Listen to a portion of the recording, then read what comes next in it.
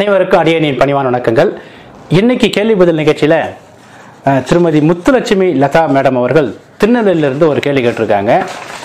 ஐயா வணக்கம். உணவு விடுதி தொழில் இதில் உணவு ஆறாம் பாவம் இதன் தொழில் ஏழாம் பாவம் கிரக காரகம் சந்திரன் இதில் சந்திரன் சப்லாடு எனில் அது பாவமுனைக்கு உபநட்சத்திரம் எனில் கொடுப்பினை மாற்றுதலுக்கு உட்பட்டது. இவ்வாறு இருக்க உணவு விடுதி நடத்துவோருக்கு ஜாதக அமைப்பு எவ்வாறு இருக்க வேண்டும்? இருக்கும் அல்லது இருக்க வேண்டும். தெளிவுபடுத்துங்கள் ஐயா அப்படின்னு கேட்டிருக்காரு.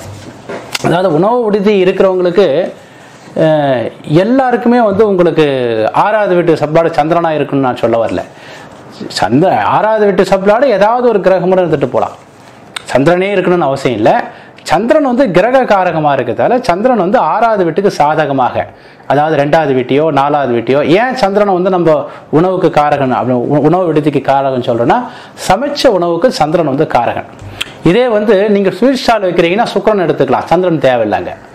அதாவது உணவு அப்படின்ற ஒரு சமைச்ச உணவு அதேமாரி விரைவில் கட்டுப்போகக்கூடிய உணவு. இப்போ இன்றைக்கி காலையில் ஒரு ஒரு- ஒரு எட்டு மணிக்கு ஒரு பொ- ஒரு பொருள் செய்கிறாங்கன்னா அது ஈவினிங் சாப்பிடும்போது அது டேஸ்ட்டாக இல்லாத மாதிரி இருந்த இருக்கிற எல்லா பொருளும் சந்திரனுடைய காரகம். உதாரணத்துக்கு காலையில் ஒரு பொங்கல் செய்கிறோம் ஒரு ஹோட்டலில் காலையில் ஆறு மணிக்கு ஒரு பொங்கல் செய்கிறாங்க ஏழு மணிக்கு எட்டு ஏழரை மணிக்கு ஒம்பது மணிக்குள்ளே அது போட்டுடுறாங்க அது அப்புறம் லேட்டாக லேட்டாக நைட் அது சாப்பிட முடியாது இல்லையா? அதாவது சமைத்த உணவுகள் அனைத்துக்கும் சந்திரன் காரகன். அந்த சந்திரன் வந்து ஜாதகத்தில் வந்து ஆறாவது வீட்டுக்கு உபநட்சத்திரமாக இருக்கணுன்ற கட்டாயம்லாம் இல்லை. ஆறாவது வீட்டுக்கு சாதகமாக சந்திரன் வந்து ஒரு நாலாவது வீட்டுக்கு உபநட்சத்திரமா இருக்கலாம் இல்லை ஒரு ஒன்பதாவது வீட்டுக்கு உபநட்சத்திரமா நட்சத்திரமாக ஏதோ வீட்டுக்கு உபநட்சத்திரமா இருந்து அது நடக்கிற தசாநாதன் வந்து ஆறாவது வீட்டுக்கு சாதகமாக இருக்கணும். நீங்கள் கேட்ட கேள்வி கரெக்டு தான். ஏன்னா சந்திரன் வந்து அடிக்கடி தன்னுடைய நட்சத்திரத்தையும் உபநட்சத்திரத்தையும் மாற்றிக்கொள்வதால் சந்திரன் வேறொரு பாவத்துக்கு உபநட்சத்திரமாக இருந்தாலும் கூட தசைகள் மாறும்போது மாறிக்கிட்டே இருக்கே அப்படின்னு நீங்கள் சொல்கிறது கரெக்டு தான். ஆனால் இங்கே என்னென்னா தசாநாதன் வந்து ஆறாவது வீட்டு கெடுக்கிற பாவத்துக்கு உபநட்சத்திரமா இருக்கக்கூடாது. உதாரணத்துக்கு தசாநாதன் ஐந்தாவது வீட்டுக்கு உபநட்சத்திரம்னு வச்சுங்களேன் அப்போ சந்திரன் வந்து ஐந்தாவது வீட்டுக்கு உபநட்சத்திரமா போயிடுது.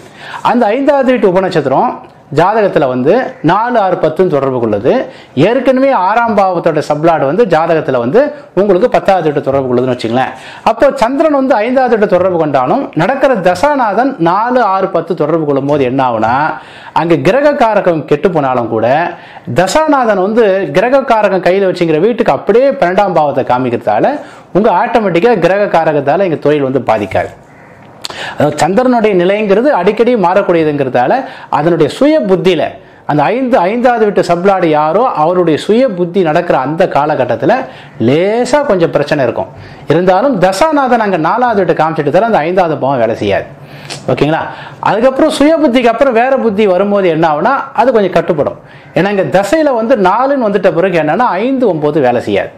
ஜாதகத்துக்கு இயற்கையாக ஐந்து ஒன்பது வேலை செய்யுதுங்கிறது செய்யாதுங்கிறதால இந்த நாலு வந்து அவர் செய்யக்கூடிய ஓட்டல் தொழிலுக்கு அது சாதகமான பாவமாக இருக்கிறதால அங்கே நல்லாவே வரும்.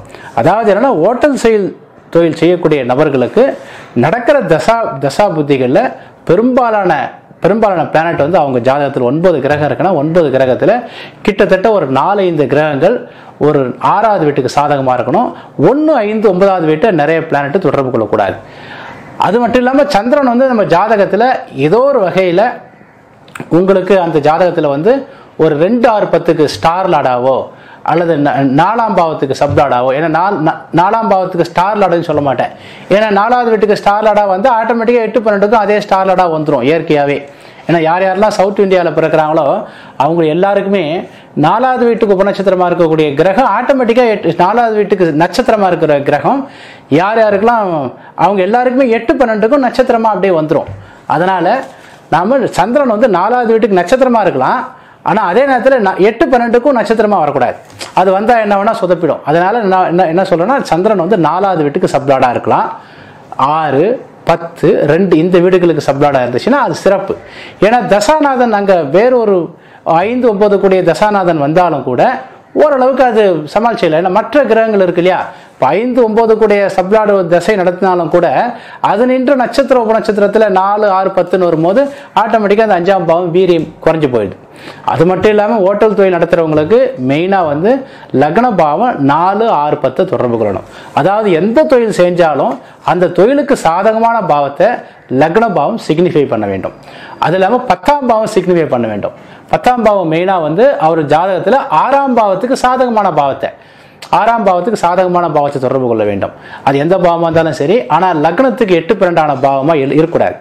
அப்போ எட்டு பன்னெண்டை விட்டுட்டு ரெண்டு நாலு ஆறு பத்தில் எந்த பாவம்னா இருக்கலாம். மூணு ஏழு பதினொன்று வந்து ஒரு மிதமான லெவலில் ஒரு தொழில் பண்ணலாம். அதுக்கப்புறம் ஏழாவது பாவம் நீங்கள் சொன்னது கரெக்டாக ஏழாம் பாவங்கிறது வாடிக்கையாளர் அப்படிங்கிறதால ஒரு நல்ல ஒரு பெரிய ஹோட்டல் ஒரு கார்ப்பரேட் லெவலில் பெரிய பெரிய பணக்காரங்க சாப்பிடக்கூடிய ஹோட்டலில் ஏழாவது பாவம் ரெண்டு நாலு ஆறு பத்து இந்த வீடுகளை தொடர்பு கொள்ளணும். ஒரு ஜனரஞ்சகமான ஹோட்டல் பொதுமக்கள் எல்லாரும் வந்து ஒரு மகிழ்ச்சியாக சா சாப்பிட்டு வரக்கூடிய ஹோட்டல்னா ஏழாவது பாவம் மூணு ஏழு பதினொன்று தொடர்பு கொண்டால் நல்ல ஒரு நிலையில் இருக்கும். அதாவது ரெண்டு ஆறு பத்துன்னு வரும்போது என்னென்னா பெரிய ஹோட்டலாக இருக்கும் ஒரு சாமானியன் போய் சாப்பிட முடியாது. அதாவது யார் யாருக்கெல்லாம் ஜாதகத்தில் ஏழாவது பாவம் குறிப்பாக பத்து கூட இருக்கலாம் இந்த ஆறு இருக்கக்கூடாது. ஆறு இல்லாமல் பத்து இருந்தால் நல்லது. இப்போ ஏழாவது பாவம் பத்து தொடர்பு உள்ளதுன்னு வச்சுங்களேன் ஜாதகத்தில் ஆறாம் பாவம் நல்லா இருக்குது சந்திரன் நல்லா இருக்குது நடக்கிற திசை நல்லா இருக்குது அப்படின்னா இந்த ஏழாம் பாவம் பத்துன்னும் போது பெரிய ஓட்டலாக இருக்கும். ஒரே நேரத்தில் கிட்டத்தட்ட ஒரு இரநூறு பேர் சாப்பிட்ற மாதிரி ஒரு பெரிய ஹோட்டலாக இரநூறு இரநூத்தி ஐம்பது பேர் சாப்பிட்ற மாதிரி பெரிய ஹோட்டலாக இருக்கும். அந்த ஏன்னா பத்துங்கிறது ஒரு பெரிய பிரம்மாண்டத்தை குறிக்கக்கூடியது. ஆனால் அது கூட ஆறு பத்துன்னு வரும்போது என்ன ஆகும்னா பெரிய ஓட்டலாக இருக்கும். ஆனால் மொத்தமாக சாப்பிட்றவங்க பார்த்தீங்கன்னா இருபது பேர் தான் இருப்பாங்க. எல்லாம் கார் எடுத்துகிட்டு வருவாங்க. ஒரு ஒரு சாமானியன் போய் உட்காந்து சாப்பிட முடியாது. அந்த வகையில் என்ன அப்படின்னா உதாரணத்துக்கு உங்களுக்கு புரியுற மாதிரி சொல்கிறதுனா ஹோட்டல் சரவண பவன் ஹோட்டல் இருக்குது இந்த ஹோட்டல் சரவண பவன் வந்து நல்ல பெரிய பெரிய ஸ்டாப் நல்ல டாப் ஹோட்டல் தான். ஆனால் அங்கே சாமானியனும் போய் சாப்பிட்லாம். ஒரு ஒரு சாதாரண டூ வீலர் ஓட்டிகிட்டு போயிட்டும் போய் சாப்பிடக்கூடிய நபர்கள் இருக்காங்க. இதே ஹோட்டல் சோடா அப்படின்னு பார்க்கும்போது பெரிய ஹோட்டல். அங்கெல்லாம் சாமானியெல்லாம் போ போய் சாப்பிட முடியாது. ஏன்னா ரெண்டு இட்லி ஒரு வடை சாப்பிட்டாவே உங்களுக்கு எட்நூற்றி பதினெட்டு ரூபா ப்ளஸ் இருபது பர்சன்டேஜ் ஜிஎஸ்டின்னு டேக்ஸ் போட்டுருவாங்க. மொத்தம் ஆயிரத்தி ஆயிரத்தி நூற்றி பத்து ரூபான்னு பில்லு போட்டுருவாங்க. ரெண்டு இட்லி ஒரு வடைக்கு. முடிஞ்சு போச்சு அவ்வளோதான் இந்த மாதிரி இல்லாமல் அதாவது பத்துன்னும் போது அது தொழிலுக்கு சாதகமாக இருக்கிறதால ஏழாம் பாவத்துக்கு கொஞ்சம் ஒரு தேர்ட்டி பர்சன்டேஜ் பாதிப்பு தரதால வெறும் பத்துன்னா பிரச்சனை இல்லை. அந்த பத்து கூட ஒரு ஆறு வரும்போது தான் அது பிரச்சனை. அதனால நமக்கு என்னன்னா ஜாதகத்தில் ஐந்து ஒன்பதாவது பாவங்கள் நிறைய இடத்துல லிங்க் ஆகக்கூடாது. லக்ன பாவமும் பத்தாம் பாவமும் இந்த ஜா இந்த ஜாதகத்தில் ஒரு சாதகமான நிலையில் இருந்தால் போதும். ஐந்து ஒம்பது தொடர்பு கொள்ளாமல் ஆறாம் பாவத்துக்கு சாதகமாக நாலு ஆறு பத்து அப்படிங்கிற பாவமோ அல்லது மூணு ஏழு பத்து பதினொன்றுங்கிற பாவமோ இருக்கலாம். மூணு ஏழு பதினொன்றுங்கிறது ஜனரஞ்சகமான ஹோட்டல் எல்லாரும் வந்து சாப்பிட்ற மாதிரி இருக்கும். ஒரு- அதாவது லாப நோக்கு வந்து கொஞ்சம் குறைவாக இருக்கும். கஸ்டமர் கேர் ரொம்ப அதிகமாக இருக்கும். அதனால் நீண்ட காலத்துக்கு அந்த ஹோட்டல் வந்து நினைச்சிருக்கும் கூட்டம் அதிகமாக வந்துட்டு போகும். அதாவது மோர் கிளைண்ட் லெஸ் ப்ராஃபிட் அப்படிங்கிறது மூணு ஏழு பதினொன்று ஓகேங்களா? அதனால நம்ம சந்திரன் வந்து இங்கே இங்க ஆறாவது வீட்டுக்கு சப்ளாடா தான் இருக்கணுங்கிற கட்டாயம் இல்லை. ஓகேங்களா? அடுத்த கேள்வி. திரு முருகன் ஐயா அவர்கள் ஒரு முருகன் தான் நினைக்கிறேன். முருகேசனா முருகன் தெரியல சரியா இது டைப் இங்கே வரலைங்க. ஐயா அவர் ஒரு கேள்வி கேட்டிருக்காரு. வணக்கம் ஐயா. ஜாதகர் மருத்துவத்துறைக்கு டாக்டர் படிக்க வேண்டும் என்றால் பாவம் மற்றும் கிரகம் அதாவது ஆறாம் பாவம் லக்னம் சூரியன் ஒன்பதாம் பாவம் தசாபுத்தி பார்க்க வேண்டும் என்பது விதியாகும். மேற்கண்டு அனைத்தும் எந்த விதத்திலும் ஆறு அல்லது ரெண்டு ஆறு பத்து தொடர்பு கொள்ள வேண்டும். இருந்தாலும் மூன்று விதிகள் ரெண்டு ஆறு பத்து தொடர்பு கொண்டால் அதாவது ஆறாம் பாவம் சூரியன் தசாபுத்திகள் டாக்டர் படிக்க முடியுமா என்று தாங்கள் ஒரு ஜாதகம் மூலமாக விலைக்கு கூறுமாறு அன்புடன் கேட்டுக்கொள்கிறேன் என்றார். ஜாதகம் மூலமாக இன்னொரு டைம் நான் மருத்துவ எஜுகேஷன் சம்பந்தமான விஷயத்த சொல்லும்போது நான் விலைக்கு கூறுறேன் சார். இப்போ இங்கே பார்க்கும்போது என்ன அப்படின்னா நீங்கள் மூணு ரூல் நல்லா இருந்தால் போதும். மெயினாக படிக்கும்போது இருக்கக்கூடிய தசா புத்திகள் ஆறாவது வீட்டுக்கு சாதகமாக இருந்தால் போதும். அதாவது ஆறாவது வீட்டுக்கு சாதகமாக இருந்தால் அது மூணு ஏழு பதினொன்று கூட இருக்கலாம். ஏன்னா இந்த மூணு ரூல் அப்ளை ஆயிடுச்சுன்னு சொல்லிட்டீங்க. அதாவது ஆறாவதோட நல்லா இருக்குது சூரியன் நல்லா தசா தசாபுத்தி நல்லா இருக்குன்றீங்க. இந்த தசாபுத்திகள் படிக்கும் போது அப்படின்றது ரொம்ப முக்கியம். ஏன்னா படிக்கிற காலத்தில் ஒரு ஐந்து ஒம்பது கூடிய தசாபுத்தியோ அல்லது எட்டு பன்னெண்டு கூடிய தசாபுத்தியோ வந்தால் என்னன்னா சிறப்பாக இருக்காது. இங்கே எட்டு பன்னெண்டுங்கிறது ஆறாவது வீட்டுக்கு சாதகமாக இருந்தாலும் ஒன்பதாவது வீட்டுக்கு பாதகமாகவும் லக்னத்துக்கு பாதகமாக இருக்கிறதுல அந்த படிப்பு வந்து அவர் சரியாக கிரியே முடிக்க முடியாது. அதனால படிக்கும் போது நடந்த தசாபுத்திகள் நல்லா இருந்தால் போதும் ஆக்சுவலாக ஓகேங்களா?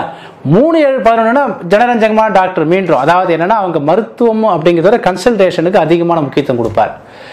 ரெண்டு ஆறு பத்து கூட எ- கூட எட்டாவது பாவனா வரும் வெறும் எட்டு பன்னெண்டு வராமல் ரெண்டு ஆறு எட்டு பன்னெண்டு இதெல்லாம் வரும்போது ஆப்ரேஷன் சம்பந்தமான வகையில் அவர் வந்து சிறப்பாக இருப்பார். அதாவது எல்லாமே கரெக்டாக இருக்கணுன்ற அமைப்புலாம் இல்லை சார். ஒரு மருத்துவர் ஆகணும்னா ஒரு பத்து ப- ஒரு ஏழு எட்டு ரூல் இருக்குன்னா அந்த ஏழு எட்டு ரூலும் அப்படியே உட்காரன்னு அவசியம் இல்லை. ஓகேங்களா? அது மெஜாரிட்டியாக இருக்கக்கூடிய அதாவது நம்ம ஆறாம் பாவம் லக்னம் சூரியன் ஒன்பதாம் பாவம் சொல்கிறோம் இல்லையா? ஆறாம் பாவங்கிறது அதான் ஹீரோன்னு சொல்கிறோம் ரெண்டாவது லக்னம்ங்கிறது எதை சொல்கிறோம் ஒருவருடைய ஈடுபாடுங்கிறது லக்னத்தை குறிக்கிறதால அவருக்கு அது ஈடுபாடு இருக்கா இல்லையா அப்படிங்கிறது லக்ன பாவம். கூட என்ன பண்ணலாம்னா நீங்கள் பத்தாம் பாவத்தையும் சேர்த்துக்கலாம். ஏன்னா பத்தாம் பாவம் கர்மா அப்படிங்கிறதால. அந்த பத்தாம் பாவங்கிறது ஜாதகத்தில் ஒரு மருத்துவருக்கு ஐந்தாவது வீட்டி ஒன்பதாவது வீட்டையும் தொடர்பு கொள்ளக்கூடாது. குறிப்பாக ஒன்று ஐந்து ஒன்பதாவது வீட்டை ஒரு மருத்துவருக்கு தொடர்பு கொண்டு அது சிறப்பு இருக்காது அதாவது நாம் என்ன தொழிலில் இருக்கிறோமோ அந்த தொழிலுக்கு பாதகமான பாவத்தை லக்ன பாவமும் பத்தாம் பாவமும் தொடர்பு கொள்ளக்கூடாது. அதாவது பத்தாம் பாவங்கிறது என்னன்னா ஒருத்தர் இந்த விஷயத்துக்காக பிறந்திருக்கிறாருன்னு சொல்கிறோம் இல்லையா? அப்போ ஜாதகத்தில் ஆறாம் பாவம் நல்லா இருக்கு. அதே மாதிரி வந்து உங்களுக்கு லக்ன பாவம் நல்லா இருக்குது சூரியன் நல்லா இருக்கு ஆனால் பத்தாம் பாவம் மட்டும் ஐந்தையும் ஒம்போதையும் தொடர்பு கொள்ளும்போது ஜாதகருக்கு அதில் ஒரு ரெஸ்பான்சிபிலிட்டியாக இருக்க மாட்டார். ஒரு டாக்டர் துறையில் மருத்துவ துறையில் இருந்தாலும் கூட அதில் ஒரு தனித்தன்மையாக ஒரு சிறந்து விளங்கக்கூடிய நிலையில் வரக்க மாட்டார்.